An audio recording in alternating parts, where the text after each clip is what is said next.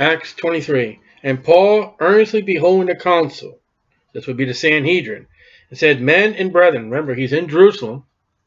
He's talking to the men, Gentiles, unsaved. He's talking to the brethren, saved, or Jewish people. I have lived in a good conscience before God unto this day. Mm-hmm. A conscience is a great gift of God if you use it correctly. The Bible says you can sear your conscience. A conscience that God uses in someone he's working with will be, I'm doing something wrong. I need to get it right. And you got that conscience. You got a healthy conscience. Do what God wants you to do. Do not adhere to destroy your conscience. Conscience is a good thing. It's a good I don't know what you call it, but that he's put into man to realize that you're a sinner, you've done something wrong. And high priest Ananias, look at this, he's in the picture, commanded them that stood by him to smite him on the mouth. I have a I have a good conscience before God to this day. He's the high priest, smack him. Now there are many people who raise Paul on a pedestal and they take Jesus Christ down. Then said Paul to him, God smite thee, thou whited wall. For sittest thou to judge me after the law, and commandest me to be smitten contrary to the law? Paul got angry. Jesus did not get angry when he was bruised, punched, whipped. Paul gets smacked in the mouth. What's your problem? And that sets Paul apart from Jesus Christ. Hey, listen, I'm no different from Paul. You're going to smite me, and I got I'll have to hold back a little anger. But what we're seeing here is Paul is human. He's a sinner. And rash, he just anger. He looks at that, that high priest and says, who do, you, who do you think you are? I've done nothing wrong to the law. Why'd you smite me? And they that stood by said, Revilest thou God's high priest? And that's a joke because what Paul will write in Hebrews about Jesus Christ, Jesus Christ is the high priest. Your office is gone, buddy. You want to take a look into that, that temple right now? The veil's been, you probably sold it back up, but the veil's been ripped. Your office is gone by the blood, testimony, death, burial, and resurrection of Jesus Christ. There is no more high priest but Jesus Christ. But we're not going to learn that later on to whoever writes Hebrews writes that. But we know that because we have 66 books. Paul doesn't even know this yet. God's high priest. Sorry, buddy. No longer. The Old Testament's gone. That went out with John the Baptist. Jesus said the law, the law and the prophets were unto John. Jesus Christ had his own little dispensation. And God's high priest, you killed God. Jesus Christ. Paul is standing before a murderer. I'm God's high priest. That's exactly the respect the Pope has over his people. I'm God's Pope. Then said Paul, Now watch this, America. Christians, I was not, brethren, that he was the high priest. For it is written, Thou shalt not speak evil of the ruler of thy people. Look what Paul just said. I got a little anger there, but you know what? I wish you weren't in the position you were. I wish President Obama was not president of this country, but you're not to speak evil of the ruler. Paul may not like that high priest, but he didn't speak ill of him. And he quoted the scripture saying, you know what? I can control my mouth. I may have lost it in verse 3, but I ain't going to lose it in verse 5. You're still in charge, and God still has you in charge. God is not taking you away, so I'm not going to speak ill of you. American Christians need to have that aspect. Last eight years. And you don't realize unless you confess your sins, your Facebook post will be held accountable at the judgment seat of Christ. I don't care you don't like it. Listen, this high priest is the one that had Jesus Christ crucified. This high priest is the one that had John and James uh, and well had John and Peter whipped, had James turned over to the Roman government to be beheaded, would have Peter in jail, would would uh, have Paul go out and crucify and kill and prison and punish Christians. Paul knew who this guy was, and he didn't badmouth him. As far as I know, the President of the United States, as far as I know, any of them did not crucify, did not uh, uh, persecute, and did not uh, whip Christians. Any of them. And this is the high priest. Paul's testimony that we just read in chapter 22 and chapter 9. This would be the guy that gave Paul the letters to go to Damascus and get them. Let's see. Look at 22.5. As also the high priest does bear me witness in all the estate of the elders, for whom I received letters unto the brethren, and went to Damascus to bring which which were there bound unto Jerusalem for to be punished. He is standing before the guy that would have Christians persecuted. He said, I can't say nothing about you because the scripture says I ought not to. You even sent me. And I'm not going to say nothing. But when Paul perceived that the one part were Sadducees, Sadducees, Sadducee, we'll see in a minute, and the other part Pharisees, he cried out in the council, Men and brethren, I am a Pharisee, the son of a Pharisee. Of the hope and resurrection of the dead, I am called in question. Now, what that statement is, the question is, Jesus Christ raised from the dead? Yeah, right, Paul.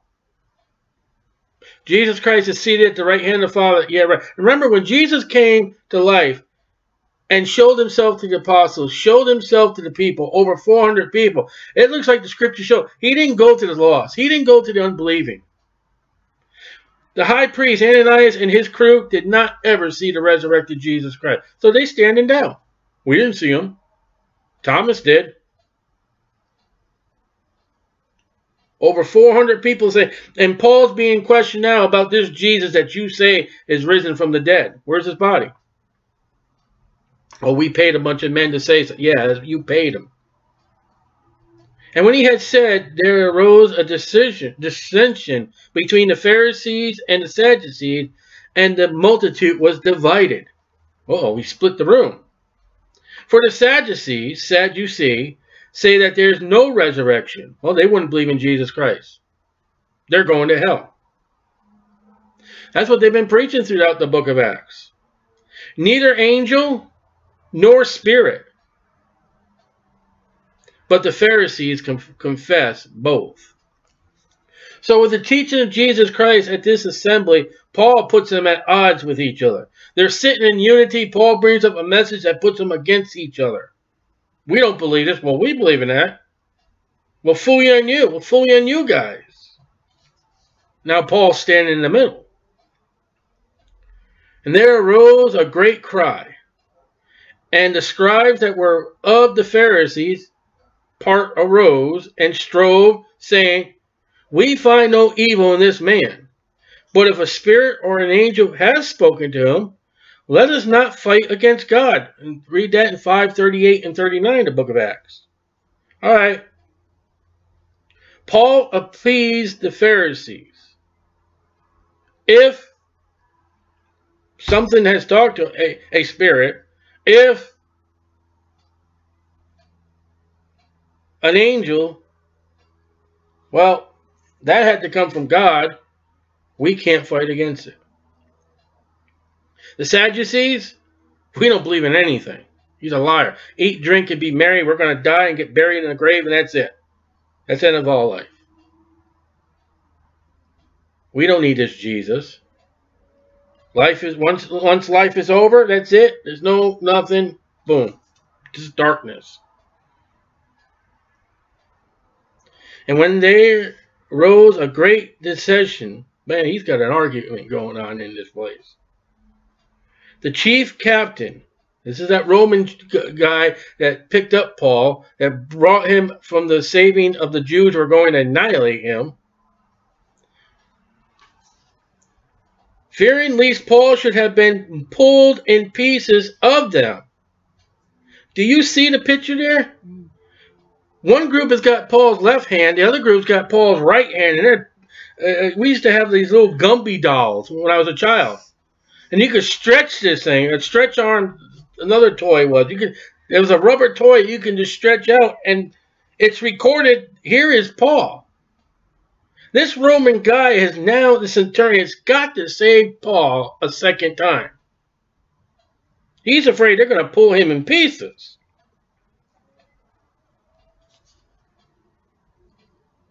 Commanded the soldiers to go down and to take him by force from among them and bring him into the castle. Paul is causing. Can you imagine what Paul would do if he walked into your average Baptist church in America or, or throughout the world?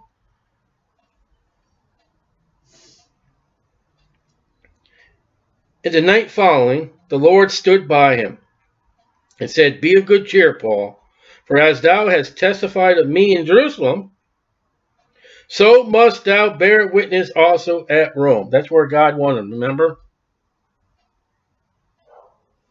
He's what God's telling Paul is, brother, you sinned. You did right. You preached about me. You, you, you, but we got a little problem here. In Jerusalem, you testify of me, but you got to go to Rome. It's not. There's. It's just you don't belong here. How do you feel, buddy? You're sitting in this castle. The only ones you can witness to is the soldiers that are at your hand. You could be witnessing to groups of people right now. You could be standing at a seaport. You could walk into a synagogue, but you can't. Because you've gone somewhere where I told you not to go. I'm going to use you, but I can't use you to the fullest. And when it was day, certain of the Jews banded together and bound themselves upon a curse, under a curse, saying that they would neither eat nor drink till they had killed Paul. A hunger strike. Right here in the Bible. Here's a hunger strike to kill a man of God. Nothing new under the sun. And they were more than 40 which had made this conspiracy. Did you see what the Bible said? We're not going to eat or drink. We're going to have a hunger, strike, hunger strike to kill a man of God. And it said it's a conspiracy. It's also a sin. Thou shalt not kill. Thou shalt not kill, but some people may have realized when they stand at either judgment, they may be charged with conspiracy and they don't even realize they're doing it. And they came to the, listen, there, there have been Baptists who have had that attitude. There have been Catholics that, we're not going to do this until you do this. A nation right now is in conspiracy because we didn't get our president. We're not going to go back to school. We're not going to have a peaceful uh, assembly. We're going to riot and cause all kinds of trouble till you put our person in the office that we want. That's a conspiracy. That's where America is today. And they came to the chief priests and elders and said, We have bound ourselves under a great curse, that we will that we will eat nothing until we have slain Paul. That's a great curse. You're not going to have anything to eat or drink. Well, you can only do that for so long before you die of of uh, malnutrition and and um, uh, dehydration, starvation. You're only going to last so long. For what cause? Now therefore ye with the council signify to the chief captain, that's the one that's been rescuing Paul. They're going to get this Roman soldier, this centurion, they're going to get him in a trap. They're going to risk his life. Great people. Do you realize your sin not only affects one person, but affects others? That he bring him down unto you tomorrow. In other words, notify that chief, that captain, that centurion. Say, hey, listen, bring Paul to the council tomorrow. As though ye would inquire something more perfectly concerning it. Say you're going to ask him some more questions. You're, you're going to, you know, you're going to give him another trial. And we, or ever he come near, are ready to kill him. Well, there you go. And when Paul's sister's son, his nephew, heard of them lying in wait, he went and entered into the castle and told Paul. I don't know how he knew this. I don't know where it was, but the Bible records and doesn't even name the young lad. Then Paul called one of the centurions unto him and said, Bring this young man unto the chief captain, for he has a certain thing to tell him. So he took him and brought him to the chief captain and said, Paul the prisoner. What? What's Paul called? He wouldn't have that name if he was in Rome, would he? That's his name while he's rebelling against the word of God. Paul the prisoner. And he did not need to be there. Paul the prisoner called me unto him and prayed me to bring this young man unto thee who has something to say unto thee. Then the chief captain took him by the hand and went with him aside privily, privately, and asked him, What is it that thou hast to tell me? Now take us by the hand. I assume that this is a little child. You know, you ever see it like a mother comes come with me, child? I don't know. And he said, The Jews have agreed to desire thee that thou wouldst bring down Paul tomorrow into the council as though they would inquire somewhat of him more perfectly. But do not but do not thou yield unto them, for there lie in wait of him, of them more than forty men, which have bound him themselves with an oath or curse. See what oath and curse is? Scripture with scripture. Be careful of your oaths, because it can be a curse that they will neither eat nor drink till they have killed him. And now they are ready, looking for a promise from thee. Man, they're out the gate right now. They're looking. They know what route they'll take. They know what corners. They know where to. They're right now, as they're speaking, they're ready to pounce on Paul. So the chief captain then let the young men depart and charged him, See thou tell no man that thou hast showed these things to me. And he called on him two centurions, saying, Make ready two hundred soldiers to go to Caesarea, and horsemen threescore and ten, and spearmen two hundred. At the third hour of the night, 472 soldiers Paul's got. Paul says, I have not reframed this, the, the gospel to all men. There's 472 people that probably would hear Paul speak about Jesus Christ. That's a lot. What are they going to do? Leave him? Worst they can do is bash him in the mouth and make him shut up. But even at the point they make him shut up, he's already spoken something about Jesus. Third hour of the night, so this if this is Jewish time, this would be about 9, 8, 9 p.m. And provide them beast that they may set Paul on. Ooh, look at that. Paul gets transportation. And bring him safe unto Felix the governor. And he wrote a letter after this manner, and the letter is 26 to 30. Claudius Lysias, Lysias, unto the most excellent governor Felix sendeth greeting. So we learn who this chief captain is, Claudius Lysias. The governor is Felix. So he's sending Paul to the governor. We got trouble here. This man was taken of the Jews, true, and would have been killed of them, true. Then came I with a army and rescued him, true. Having understood that he was a Roman, lie. Remember when Paul's he's they're taking the thrones, they're ready to tie him down to be beat. He said, "You can you do this to a Roman soldier, Roman citizen? And that was back in, I think that's last night's chapter. That was chapter 22, 25 to 30. And they were afraid because, oh man, this guy's a Roman. A little lie here. And when I would have known the cause whereof they accused him, I brought him forth into their council. I brought him forth the Jews. I brought him to the Sanhedrin whom I perceive to be accused of questions of their law. but to have nothing laid to his charge worthy of death or a bond. It was a kangaroo court. It's like Jesus. They had no charges.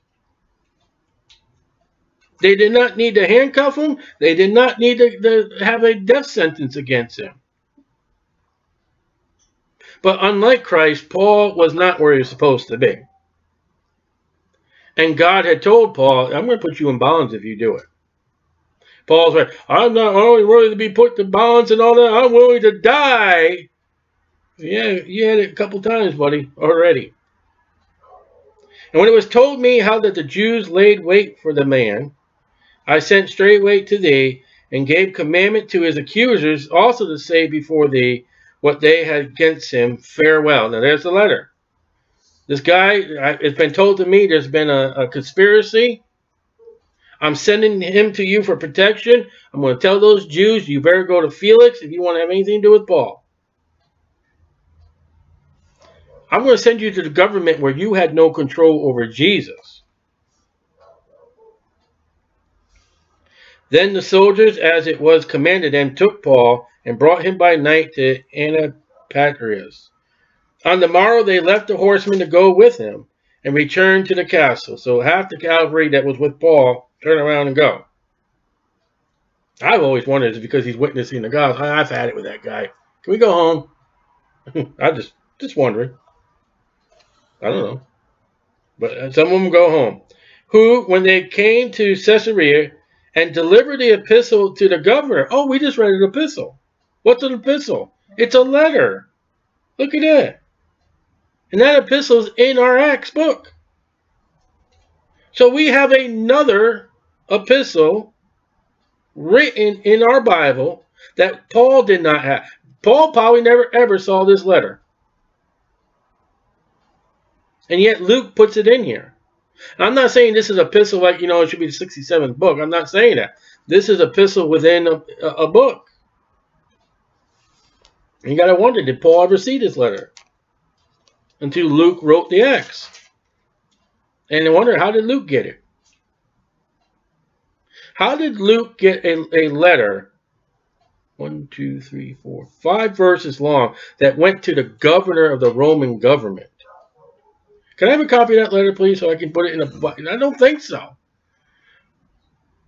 Felix, you know, God's having me write the book of Acts of the Apostles and all that. In chapter 23, I need a copy of your letter. Can I, have a, can I get a photostatic copy of that letter, please? I don't think so. Yet, here it is. The Bible was written by man. Really? How did this letter get into this book? And if it did reach Luke, if it did reach Paul, how on earth did this Roman letter get to them? You think Claudia, you think Felix have to get this? Oh, I got to put this in my scrapbook. It's an excellent letter about the Apostle Paul is going to write all these books. Really? Do you think so? I don't think so. Why would this letter survive? Then the soldiers, as it were, they commanded them, took Paul and brought him to the night to Antipatris. And with verse 33 we're at. Who, when they came to Caesarea and delivered the epistle to the governor, Felix, presented Paul also before him. Here's the letter, here's Paul. And when the governor had read the letter, we just read it, he asked of which province he was. And when he had understood that he was of Cilicia, I will hear thee. This is Felix, he said, said he, when thy accusers, the Jews, are also come. And he commanded him to be kept in Herod's judgment hall. So Paul's not free. He's in jail again. Another night. In Rome, he wouldn't have been in jail. He's being used, but not to his full potential. And when we let sin get in our life, God can still use us. But there's no full potential. And you realize we are going to have enemies. All they that live godly shall suffer persecution. And if you live right and do right, somebody out there wants you dead. Do you realize that? Except for Paul's nephew, he was never known. People wanted Jesus dead. People wanted Peter dead. People killed James. People killed Stephen. Do you realize right now, if you're actively, however, me street meeting, but however you witness for Jesus Christ, you go in all the world and preach to God, do you realize you are on somebody's death wish? And I'll tell you who that death wish is. I'll tell you what list it is. I'll tell you who's making a list and checking it twice. It's Satan. Satan wants Bible believing Christians that witness and do what God's told them to. He wants them, excuse me, he wants you dead. And he can find over 40 people say, hey, I'll listen to you. I can set a government against you. People are all too happy to serve Satan against God. Who else would worry about a man like Paul who can go out with the gospel? Satan would worry. I guarantee when Paul woke up in the morning, and I'm not like this, but I guarantee when Paul woke up in the morning, I guarantee there were angels that had already set their alarm clocks in hell before Paul woke up to get on his guard every time he, he went out through the day. I guarantee it. Paul would have kept the, the, the, the devils, the angels of hell occupied all during his life, trying to prevent that gospel to go through. When you preach the gospel, when you sow that seed, the very first thing that shows up, according to the parable of the sower, is Satan. And if he can't get you, he'll get that word, he'll snatch that word. If he can't snatch that word, he'll get the converts that have grown. He'll attack them with the world. He'll attack them with persecution. Don't you see what's going on in the book of Acts? And then man himself is a sinner. Paul's a sinner just like all of us. None of us are perfect.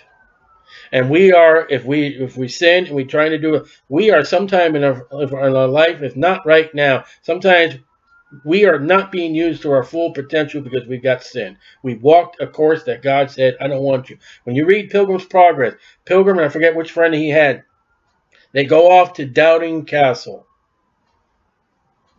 And I don't know, I don't know if that book tells you how many weeks that was, but it was a long time. Pilgrim lost time at Doubting Castle until the Lord put him back on the path where he was supposed to. And yet, Pilgrim was used when his wife and his children came along and other ventures on the path. Pilgrim was used because when they came to that path, Pilgrim put a sign, warning, don't go this way. But Christian had to lose a long time.